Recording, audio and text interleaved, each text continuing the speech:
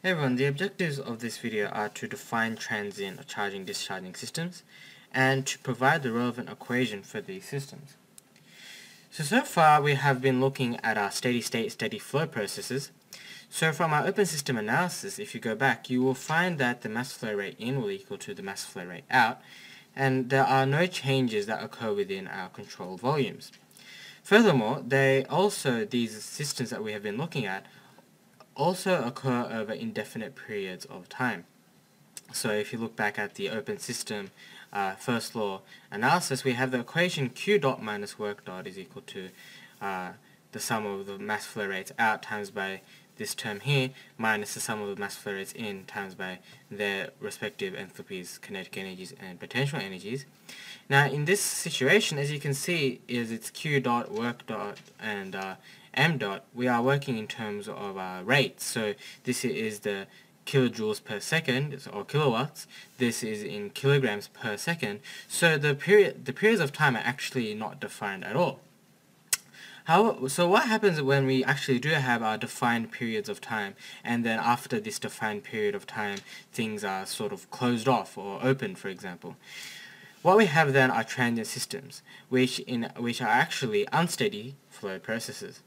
So uh, there are changes within the control volume and furthermore they are also defined over the periods of time. So we no longer work in rates and as such uh, we will uh, not be working in terms of uh, mass flow rate or uh, the the energy transferred um, rate.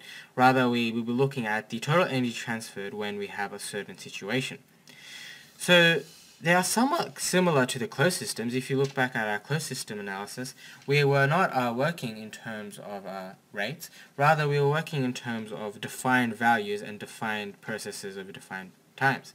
So they are rather similar to these closed systems. However, the key difference as to why they are they aren't closed systems is a basic fact that the mass within the boundary of the system can change within these transient systems. So the equation that we will be using for this uh, situation is as follows. Uh, we won't be uh, looking at the derivation of this equation. You can look that up in your own time if it interests you. However, basically what it's saying is that the, the heat transfer minus the work transfer plus the sum of mass in times by the this value over here minus the mass out times by that value there is equal to the mass at the second state times by that value there minus the mass at the first state times by that value over there. So in order to illustrate exactly how this works in terms of a charging system, uh, we look at the following diagram. Now, quickly to define what a charging system is, what we have over here is a pipe, and over here we have a tank, and they are separated by a valve. So essentially through this pipe that we have over here, there's going to be some sort of a steady flow of uh, some fluid. And within this tank over here we have, uh, we could either have nothing or we could have a whole bunch of um, fluid within it. And the valve is, is just going to um, separate the two and if we open the valve then the two will be connected and if we close the valve then this system becomes closed. So the system that we're interested in uh, is never going to be the pipe, it's actually rather the tank over here. And this control volume of the tank is not actually as defined as I have drawn it out to be. It can change due to the fact that if the valve opens then of course the control volume has also changed slightly. So for charging systems, uh, we will have uh, we won't have anything within this tank, and basically the pipe, the fluid within the pipe is going to charge the tank within here. So it's going to put in some fluid within this tank, and over a set period of time, uh, the valve is going to open, and then after some time has elapsed, the valve will close, and then we will do our analysis. And similarly, discharging systems is when we have a whole bunch of fluid within here, and then we open the valve and we let that fluid out until it's empty or until another set period of time. So if you look back at the equation over here, we have this Q minus W. So the Q will depend on whether or not the tank or this area is insulated, and the W will depend on whether or not there is some capability of external work to be uh, done. So if there's like an electrical wire or somewhat or something.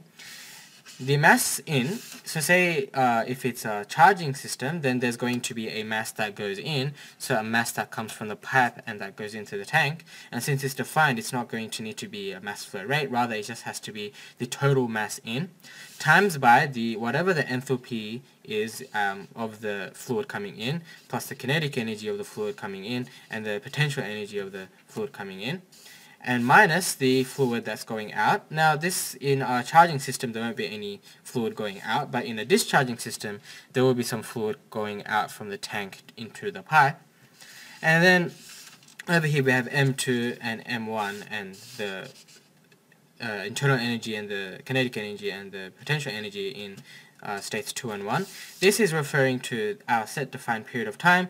Uh, at state 1 it's basically if it's a charging system at state 1 is going to have like nothing in it. And if it's a discharging system, then at state 1 will have a lot in it. And if it's a charging system, if um, at state 2 is going to have uh, some, some something in it. And at state uh, 2, if it's a discharging system, it will have it won't have uh, anything in it. So essentially what we're going to do is we're going to look at the uh, internal energy and the potential energy, the kinetic energy at these certain sta states of time, just like we have done, just like we did in the uh, closed system analysis um, earlier. Cut study time with concise video summaries by top students.